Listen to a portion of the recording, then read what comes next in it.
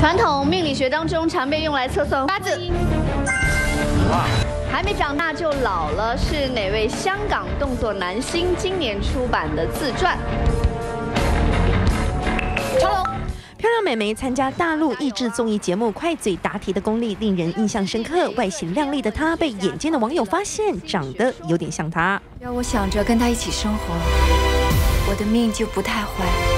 这位酷似章子怡的漂亮美眉名叫盛子约，把两人拿来比一比，同样都有着一张鹅蛋脸和一双大眼睛。为了挑战自己，前来参加益智节目，一路闯进决赛。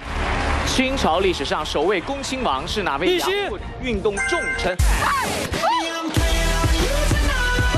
没想到，就在最后一回合，这位神似章子怡的参赛者却惨遭淘汰。但网友可是很力挺，纷纷在网络上称她是才貌双全的小章子怡，甚至还有网友发现，原来她早就对进军演艺圈颇有企图心。我喜欢一个人流连在全世界的美术馆。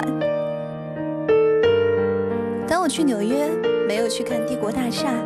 本名为盛子月的小章子怡被网友发现，曾拍过广告，也曾代班主持节目。如今随着参加益智节目走红，这位小章子怡闯荡演艺圈的下一步，已经让不少粉丝期待。记者综合报道。